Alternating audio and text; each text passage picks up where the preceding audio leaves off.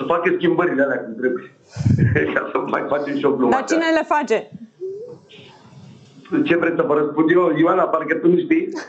nu, eu, eu mă gândeam că le face uh, delegatul echipei și nu mai știm cine e delegat, că e o problemă acolo.